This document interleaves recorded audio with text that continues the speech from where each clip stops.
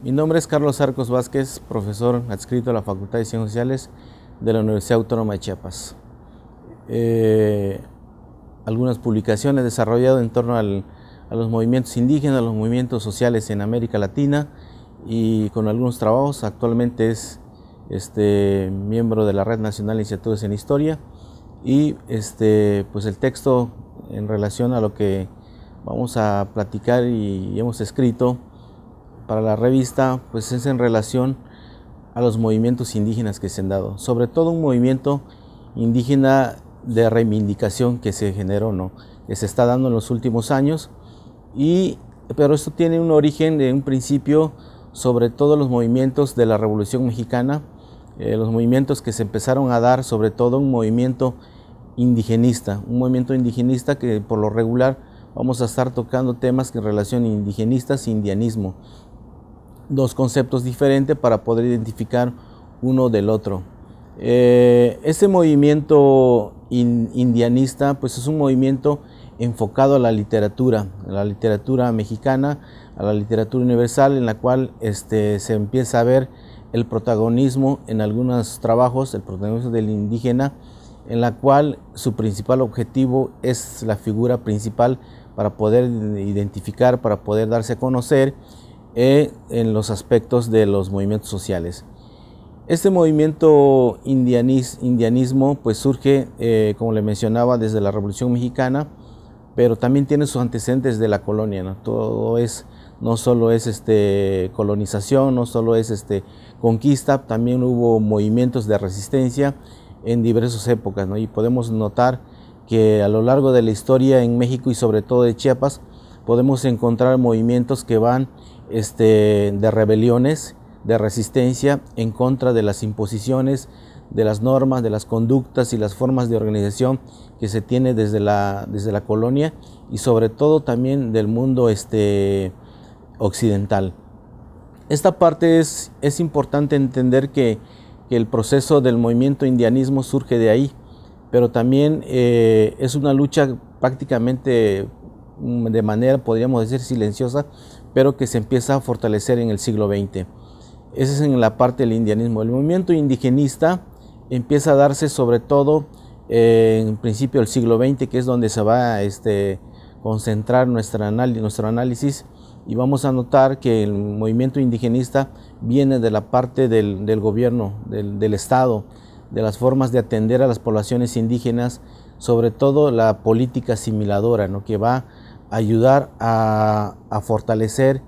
o a encaminar el desarrollo de los pueblos indígenas. Y en este aspecto creo que se puede notar eh, muy, muy este, fuerte, sobre todo en la aparición del Instituto Nacional Indigenista el 4 de septiembre de 1950, con la creación de este instituto, da una oportunidad a los pueblos indígenas de conducirse sobre todo a mejorar en el desarrollo y en las formas de vida que se tiene pero son dos culturas que se empiezan a enfrentar porque es una, una etapa en la cual se va consolidando las formas de atención del Estado hacia las poblaciones indígenas, una población indígena heterogénea, multicultural, que inclusive en sus diversas formas de, de comunicación en el lenguaje va a tener complicaciones estos momentos. Entonces podemos encontrar que a partir de 1950 a 1980 podemos notar que hay una política asimiladora, una política del Estado para poder desarrollar este, esta, esta atención a las poblaciones indígenas. Y esta atención va enfocada a la lengua, a la salud, a la agricultura, al desarrollo de la, de la misma población en general. Y sobre todo algo muy importante en esto es muy notorio la presencia de la educación. La educación va a ser fundamental para el Instituto Nacional Indigenista de que vayan comprendiendo el mundo occidental, de cómo es la, educación desde ese, desde ese momento. ¿no? Entonces vemos que la educación este, eh, que empieza a otorgar el Estado, notamos que hay la que se le llama la educación indígena, ¿no? la educación para las poblaciones indígenas y vamos a encontrar este, modelos educativos que van enfocado, pero también es una práctica, es un, un intento por desarrollar la educación indígena desde una, desde una perspectiva del mundo occidental. Pero considerando que esta lucha se empieza a enfrentar porque la educación indígena no solamente va, este, no es comprendido para ellos, ¿no? porque son dos culturas que de repente pues, se, se, hay un enfrentamiento, un choque cultural en ese aspecto. Y entonces, eh, pero se pudo fortalecer y hasta 1980 podemos ver que hay una etapa por, la, por encontrar las competencias, por encontrar la, este, la reivindicación. En los 80 se le puede llamar como un movimiento de, de la intelectualidad indígena o un movimiento de reivindicación o un movimiento de empoderamiento también de los espacios educativos y culturales. Y entonces en este momento de los años 80 podemos encontrar que empieza este, tres procesos. Tres procesos. Eh, hay un autor muy importante que analiza este movimiento de los movimientos intelectuales de los indígenas, este, Yada Ralpan. Podemos encontrar que dice que tiene tres momentos. Un momento es la reversión simbólica, la segunda es la competencia simbólica, la tercera es la construcción comunitaria. La primera consiste en la, reversión simbólica. Podemos notar que es la lucha de los pueblos indígenas o de los indígenas mismos por revertir todos aquellos aspectos negativos a la cual se le conocen. El concepto indígena prácticamente era un concepto peyorativo y entonces las poblaciones indígenas o los pueblos originarios van a luchar por cambiar, por, eh, para que las poblaciones en general vayan comprendiendo de que el concepto indígena no es algo que signifique atraso, que signifique algo que, retroceda para, un país. Entonces podemos notar que esta reversión simbólica empieza la lucha no solamente en el aspecto intelectual, sino que también por la defensa del territorio, la defensa de la tierra, que van a ser muy importantes y sobre todo algo muy importante que es la ideología la que van a defender, ¿no? Van a defender de que los aspectos culturales este, tiene sentido, tiene valores y entonces en ese momento es como podemos notar que la competencia, la, perdón, la reversión simbólica va a presentarse en esos aspectos y entonces hay intentos, hay luchas por, este, defender la ideología, por cambiar eh, de ver y de pensar de cómo es el indígena. Eh, este proceso podríamos decir que puede durar un, eh, un, poco como de una década. En los años 80 podemos ver que hay intentos de las poblaciones indígenas por empezar a decir de que la cultura y la ideología es muy importante y empiezan a como a escribir o a difundir o a, o a escribir a través de sus palabras, a través de las letras, que podemos ver que empiezan a plantear, a escribir o a publicar cuentos, leyendas, historias de sus propios pueblos,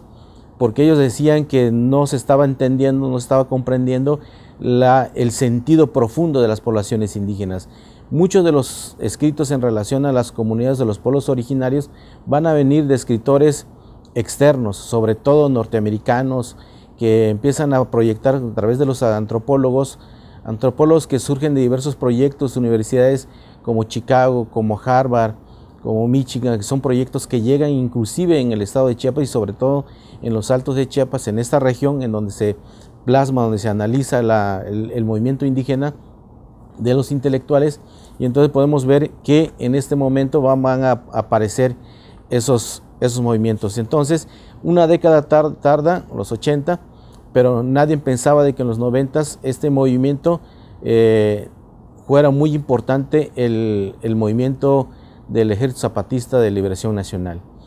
Es un momento en el cual no solamente ya no es la lucha intelectual por defender el concepto indígena o por defender, la, este, por defender el nombre, sino que también ya empieza muy fuerte la lucha por el territorio, la defensa por el territorio, y entonces va a ser un parteaguas y sobre todo el epicentro de todo este movimiento intelectual, movimiento indígena, va a ser justamente en los Altos de Chiapas, y entonces una región muy importante en donde se van a generar diversos movimientos de todo tipo. La parte intelectual creo que una de las figuras nacionales que siempre, siempre tuvieron los pueblos indígenas va a ser Carlos Montemayor, el que va a impulsar sobre todo una serie de publicaciones que tiene que ver con las historias de los pueblos indígenas, de los pueblos originarios, en donde van a plantear que este, eh, qué tan importante es la sabiduría desde, desde la profundidad. Y entonces podemos encontrar a Carlos Montemayor y también este, eh, otros intelectuales mexicanos que van a impulsar no solamente en el, territorio chiapaneco, sino que también en el, eh, sureste mexicano. Entonces, eh, podemos notar en esta parte que estas, estas, esta segunda etapa de los 90 es la cual, a la cual se le va a llamar la competencia simbólica. Primero la reversión simbólica en los 80, en los 90 las competencias simbólicas y entonces se van a, generar todo este movimiento y no solamente de escritores, sino que también de pintores, de literatos, de poesía indígena, se empieza a hablar de poesía indígena, aunque podemos decir que esto es mm, debatible todavía sobre la poesía indígena. Entonces, eh, este, dos, dos décadas de lucha, podemos ver que 80 y 90 es de por cambiar el nombre, por defender el nombre, por defender el concepto y sobre todo la imagen, la imagen y la figura del indígena. Entonces, en los 90 es así como la, lucha por fortalecerse y no solamente se crean instituciones muy importantes a nivel nacional, como es la Escuela Nacional de Escritores Indígenas, la ELIAC, conocido por, por muchos que también eh, eh, participó directamente por la derecho de los derechos lingüísticos en el país. Y entonces podemos ver muchas instituciones en, los Altos de Chiapas o en Chiapas. En general podemos encontrar instituciones como, como este, UNEMAS, la Unidad de Escritores Mayas y Soques, como el este, CELAL y Centro eh, Estatal de Lenguas y Literatura Indígena. Podemos encontrar proyectos de la misma Universidad Nacional Autónoma de México que van a difundir, que van a fortalecer y darle reconocimiento a las lenguas indígenas. Entonces, estas dos décadas van a ser fundamentales para poder comprender que el movimiento de las poblaciones de los pueblos originarios van a ser fundamentales. Ya en el, último proceso, el, tres el tercer proceso que podemos este, encontrar va a ser sobre todo la construcción comunitaria. Esta última parte de, por la eh, resignificación, el movimiento intelectual o el empoderamiento de las poblaciones indígenas en el aspecto este, educativo y cultural,